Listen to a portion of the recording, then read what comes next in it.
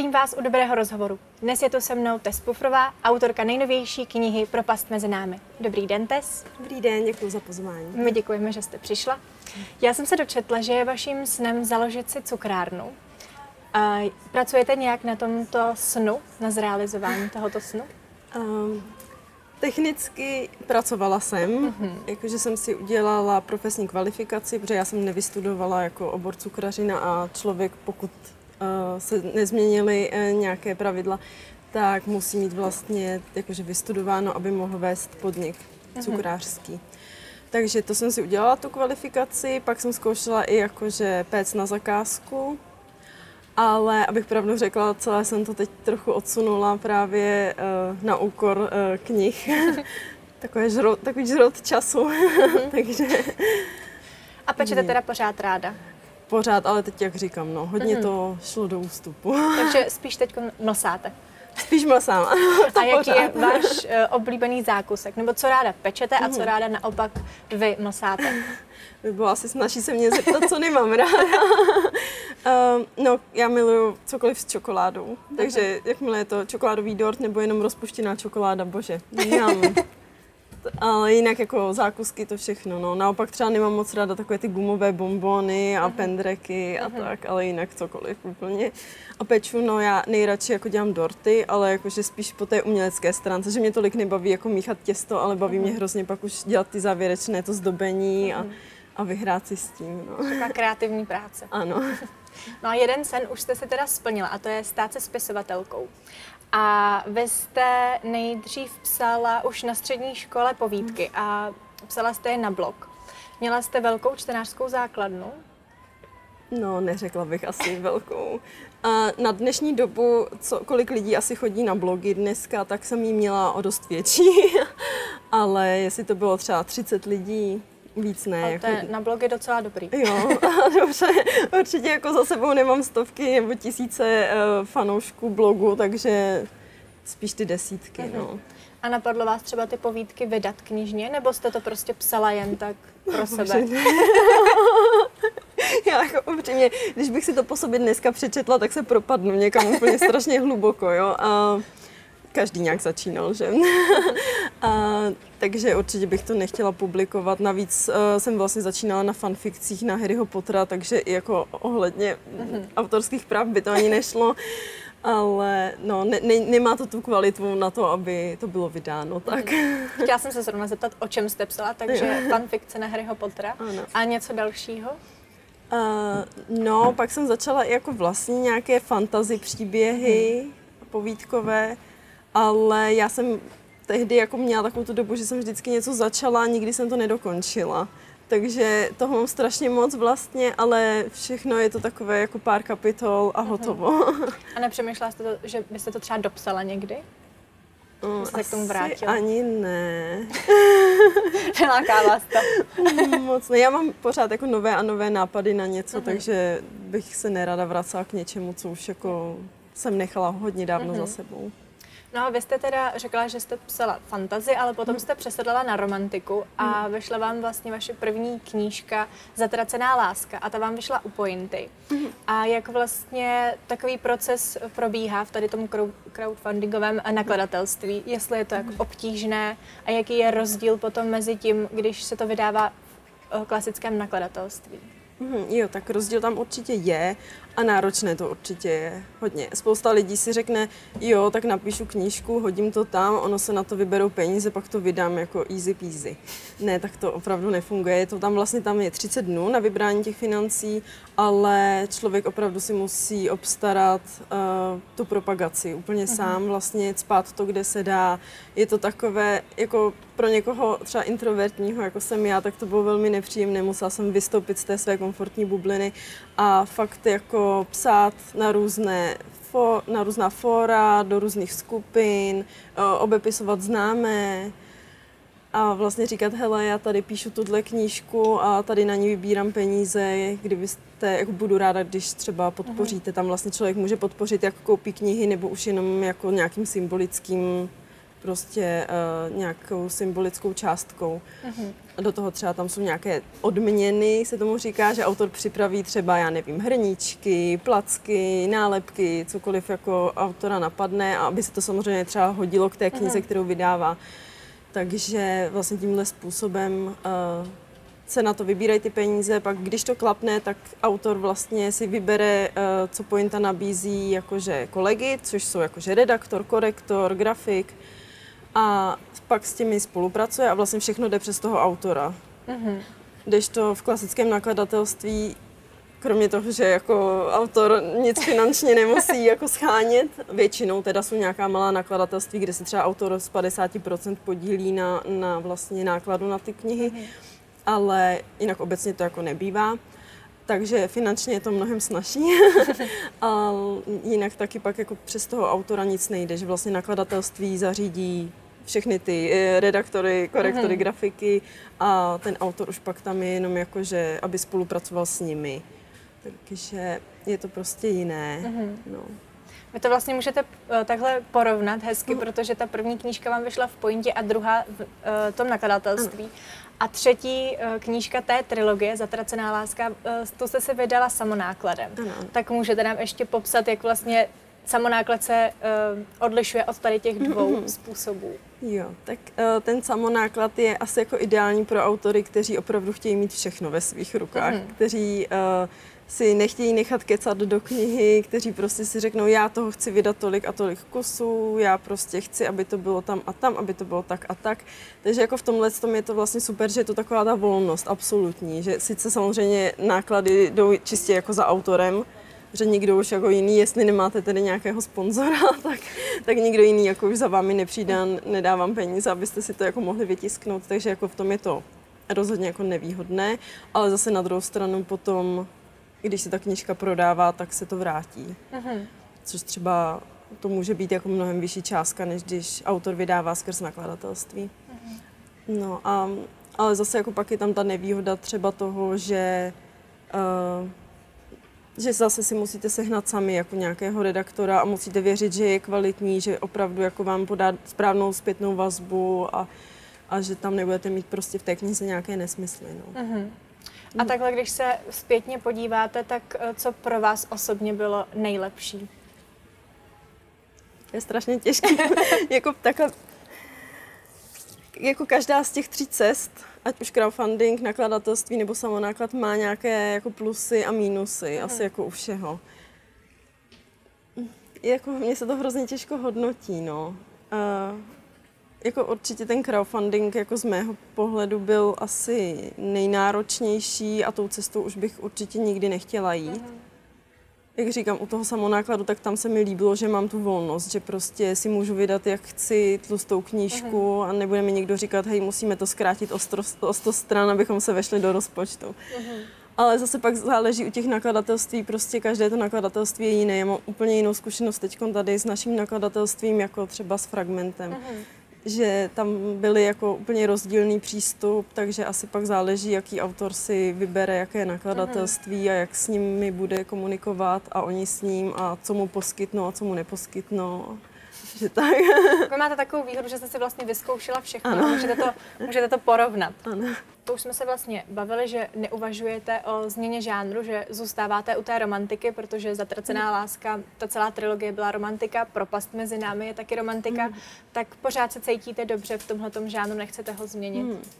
No, jak jsem říkala, já jsem začínala na těch fantasy mm-hmm. povídkách a dokonce jsem se snažila psát fantasy knihu. A psala jsem ji opravdu dlouhá léta, třeba 8 let a teď koncem si říkala, jako, že se cítím sebevědomě, abych se k tomu vrátila, že už prostě jsem se vypsala, že bych mohla se na to znovu podívat, tak jsem si to otevřela. Zase jsem to zavřela. ne, já eh, ráda bych to někdy napsala, ale je to takové, že třeba ten fantasy svět je pro mě už moc složitý, že já prostě mám ráda tu romantiku a většinou to tak mám i u těch příběhů, že já si vymyslím tu romantickou linku a pak kolem ní vystavím uh, všechno to kolem, mm. tu zápletku a tak. A bohužel jako třeba u těch jiných žánrů, jak je fantasy, sci-fi nebo cokoliv dalšího, tak tam podle mě musí být jako větší důraz na to kolem, mm-hmm. než na tu romantickou linku. A to je něco, čeho já si úplně asi nedokážu vzdát, od čeho si nedokážu oprostit. No. Jinak jako co se žánru týče třeba teďkon, uh, knížka, kterou mám rozepsanou, tak je víc třeba do erotičná než uh, mé předchozí knihy. Takže jako trošku můžu říct, že z romantiky uhýbám do erotiky, ale zase ne nějak markantně. Takže... Tak ale změna žánru to trochu je. Malinko. no a teď už se teda vrhneme tady na knížku vaší nejnovější, Propast mezi námi. A já jsem se na vašem Instagramu dočetla, že jste měla obavy, že se nebude líbit fanouškům vaší předchozí, hmm. nebo vaší předchozí trilogie. Proč jste se tak cítila? Tak asi každý autor má takový ten nervózní tlak, když vydává něco nového. A protože moji fanoušci té tedy původní trilogie Zatracená láska, tak uh, jsou zvyklí, jakože na, ona je to taková temná romance, kde je opravdu jako bad boy, bad boy, takový ten kluk, kterého doma prostě nechcete. a takže možná očeká, mohli očekávat, nebo bála jsem se, že budu očekávat, že prostě tohle se ponese ve stejném duchu, mm. ale tohle je mnohem takové jako jemnější, romantičtější. Uh, Sebastian, který je tady v této knize, tak to je prostě kluk, kterého doma naopak chcete velmi. Není to teda úplně takový ten typický hodný hošík, ale prostě je takový mnohem hodnější. No. Takže to je jedna věc a pak určitě přesně ty očekávání že vlastně, když jdete jako nový autor na, na trh, tak lidi nevědí, co od vás očekávat. A pak, když už ale něco vydáte, tak už mají nějaká očekávání mm. a mohou být pak zklamaní. Takže to je takový asi normální, normální nervozita, co autoři mývají. No. Je přirozené. Ano. No a jak jste říkala, že mohli očekávat temnější, tak ono je to, uh, já, mně se strašně líbí, když jako z obálky knihy poznáte, co tak jako můžete mm. očekávat. Tak ta vaše trilogie je vlastně, jak jste říkala, temnější, tak mm. i má takovou temnou obálku. Mm. Všechny jsou vlastně černé mm. a mají tam uh, nějaké jako prvky, ale tahle ta je prostě růžová s troškou té, té modré, takže tam se dá očekávat, že to bude takové jako jemnější, ano. romantičtější romantičtější, takže to temno tam asi jako úplně nebude. A trošku tam je, jako není to úplně taková ta feel good mm-hmm. romantika, je tam jako hlubší téma, deprese a je, jako, je tam násilí a takže úplně jako jemňunké to není, mm-hmm. ale oproti zatracené lásce to je, no. no a když jste teda eh, tady už načnula ty témata, tak také mm-hmm. řešíte téma finančního bohatství a vlastně rozdílech mezi mm-hmm. nimi. Tak proč jste se rozhodla právě pro toto téma? To je docela jako těžší otázka. Tam je určitě víc faktorů.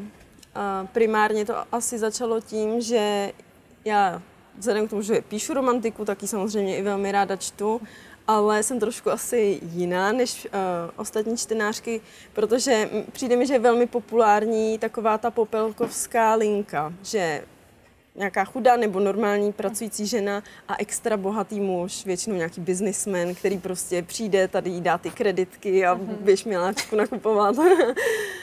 Um, já už jsem tím trošku, nechci říct jako předená, já si to pořád jako velmi ráda přečtu, ale říkala jsem si, já chci něco jiného. Já prostě uh-huh. mě jako samotnou jako ženu prostě úplně nepřitahují tady ti biznismeni a já radši toho kluka, který má ty jako ruce fakt jako s mozolama, protože pracuje a který chodí prostě, já nevím, v teplákovce. a, takže jsem si říkala, chci, aby to bylo jiné v tomhle směru. Tak jsem si říkala, jo, půjdu tímhle, že vlastně udělám toho chudého kluka, a pak jsem si říkala, no tak proč neudělat jako bohatou holku, mm-hmm. protože tam to zase souvisí trošku s tím, jak jsem říkala, že je to i o depresích, tak jsem chtěla poukázat na to, že vlastně jedna, na jednu stranu jako někdo nemá nic a musí od rána do večera pracovat a na druhou stranu někdo má všechno, na co si vzpomene a stejně prostě má nějaké psychické mm-hmm. problémy a má na ně právo. Takže z tohohle důvodu jsem se jako rozhodla uh, jít tou cestou jako to, toho rozdílného finančního bohatství. No. Mm-hmm vlastně platí o to, že za, za peníze si lásku nebo štěstí nekoupíš. Ano, přesně tak. No a zasadila jste příběh do Ameriky, do Los Angeles. A proč zrovna tam? Proč se to ne- neodehrává třeba v České republice? Takový dotaz už jsem taky dostala víc. A každopádně já jsem z té generace, která už vyrůstala prostě na americkém zboží. Mm-hmm že vlastně uh, k nám se konečně dostávaly jako všechny americké seriály, nebo nejenom americké, ale prostě zahraniční. A upřímně jsem zrovna přemýšlela, jestli znám nějaký jakože teenagerovský český seriál, který prostě vznikl v době, kdy já jsem jako vyrůstala. Já jsem si nemohla vzpomenout, jako určitě nějaký existuje, ale tím, jak prostě na nás bylo bombardováno, já nevím, čarodějky, odpadlík, prostě nějaké takovéhle, jakože uh, různé seriály, uh, telenovely, všechno, všechno ze zahraničí. Uh, takže vlastně už jsem jako vyrůstala s tím, že ta Amerika je ta super, takový ten americký sen tam je a já prostě to, uh, tu zemi mám strašně ráda. Vlastně i můj tchán je vlastně američan, protože on je sice původem Čech, ale v 18 emigroval a žil celý život v Americe. Takže jako i skrz takhle jako rodinu mám na tu Ameriku takovou vazbu, no. Díky bohu za to, protože třeba teď na té nové knize, co pracuji, tak tam se zabývám americkým fotbalem a Tchán je fanoušek samozřejmě, takže jsem od něj dostala prostě úplně tutoriál. Že budete odbornice. Americký fotbal. Uvidíme. No a vy jste vlastně mluvila i o, tom, o té temné stránce mm. a jestli se nepletu, tak je tady v té knize i mafie. Mm. A proč jste tam zasadila zrovna mafii? Aby to bylo hmm. takové temnější. Uh, to je přesně uh, ta zápletka, kterou jsem vymýšlela až po té romantické lince. ano, říkala jsem si, že prostě vlastně chci tam nějaké to pozadí toho, aby některé věci v tom dávaly smysl, které by třeba nedávaly úplně smysl uh-huh. bez toho bez toho mafiánského tedy uh-huh. prostředí nebo pozadí. Takže asi jako tak z toho důvodu asi úplně nic jako hlubšího bohužel vám neřeknu. Nevadí. Uh, a ještě, jestli se vidíte v nějakých postavách, jestli jste vlastně nějakou svoji povahu uh, promítla do nějakých postav a jestli se vám psali dobře a třeba kdo se vám psal líp a kdo se vám psal naopak hůř. Jo, uh, já vždycky tedy uh, dávám do svých postav něco ze sebe, úplně do každé, ať už je to muž nebo žena. Já i tu předchozí trilogii vlastně mám z pohledu kluka i holky a do obou prostě jsem se promítla. upřímně ten muž se mi píše líp. Nevím, jestli mám v sobě nějakou jako víc mužskou stránku, která chce jako asi na povrch, anebo je to jenom prostě tím, že chci si tam napsat toho ideálního chlapa, kterého bych si k sobě třeba představovala, i když, jak říkám, v zatracené lásce toho doma nechcete. ale, ale tady vlastně v propasti tak jsem hodně uh, tu hlavní hrdinku Donu teda inspirovala podle, ne úplně jako podle sebe, ale jak už jsem říkala, podle, mm, nebo ty mé psychické problémy jsem do ní jako promítla. Mm. Ne úplně jako stoprocentně, nemá to stejné, jako to mám já, a, ale prostě ty deprese tam má a to pro mě bylo i zároveň vlastně asi nejtěžší psát, mm. protože je hrozně těžké vlastně jako dát na papír něco takové závažné téma a aby to jako dávalo smysl i tomu čtenáři, který to neprožívá, který to nikdy třeba nezažil. Uh-huh. Takže je to takový jako hodně velké sousto. Doufám, že se mi to povedlo, to už musí posoudit čtenáři. Ale takže zároveň jako jsem se bála, abych to zvládla vystihnout, aby pak čtenáři si nečetli a neříkali si, Ježíš Maria, z čeho ona má pořád ty deprese, teď prostě má všechno, na co si ukáže, nemá na to právo. A jednak, že je to i jako moje taková jako citlivá věc, se kterou jdu vlastně jako, že, jak se říká, na trh, ano. A taky je to takové, jako, že se bojím, aby lidi prostě to neodsoudili, aby prostě jsem kvůli tomu neschytala nějakou extra jako kritiku, že jsem, já nevím, přecitlivěla a tak. Já, já vím, že jsem, takže je to takové, že jako na jednu stranu s tím počítám, že to přijde, vrnila jsem se proti tomu, ale i tak prostě pokud to přijde, tak vím, že to bude jako nepříjemné pro mě, protože už je to jako trošku osobní. Mm-hmm. No. Ale právě jak jste řekla, mm. tak čtenáři, kteří to nezažili, tak uh, úplně se do toho nedokáží vcítit a podle mě je to hodně uh, subjektivní a každý každý každou situaci prožívá jinak. Mm-hmm. A my jako čtenáři samozřejmě hodnotíme třeba ty postavy, taky říkáme si, Ježíši Maria, přesně jak říkáte, ta je přecitlivělá, proč pořád fňuká. A já jsem si to te, eh, teď nedávno říkala u jedné knížky, ale pak jsem se tak jako zamyslela a říkala jsem si, jako, jak bych se já vlastně zachovala v té situaci. Eh, já jsem četla knížku o o tom, eh, jak holčina ztratila svého milovaného, mm-hmm. že umřel.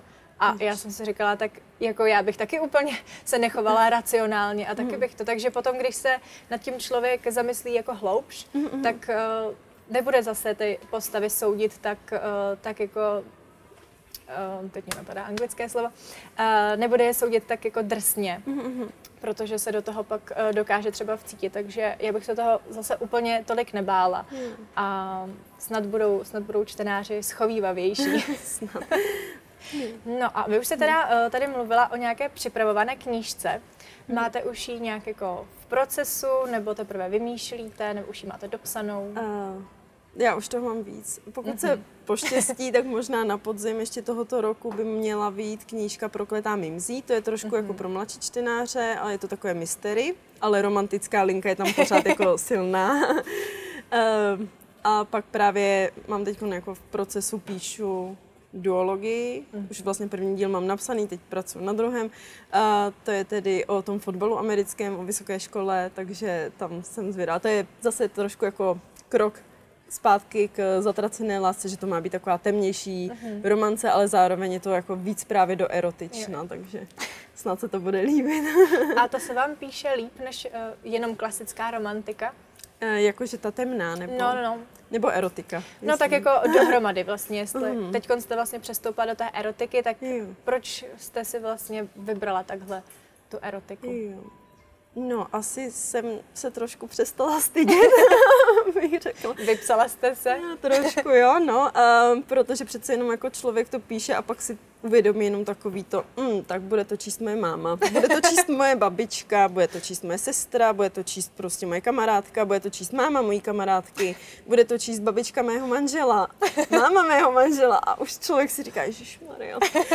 Jo, takže uh, je to takové, jako, že prostě člověk se pořád jako stydí. Já občas, když některé ty erotické scény píšu, sama jsem v pokoji a úplně jsem rudá od hlavy k patě a říkám si, pro boha, ježišmarja, teď si musím dát pauzu, abych jako prostě vůbec vymyslela, jak to má být a tak. Teď já ještě se snažím prostě ty erotické scény psat, aby to bylo co nejreálnější. Já mhm. prostě jsem zastánkyně toho, že jako by, sice jo, v těch románech asi člověk chce něco, co úplně nezažívá, ale pořád bych jako byla ráda, aby se to drželo co nejvíc jako těch mm těch hranic prostě ano.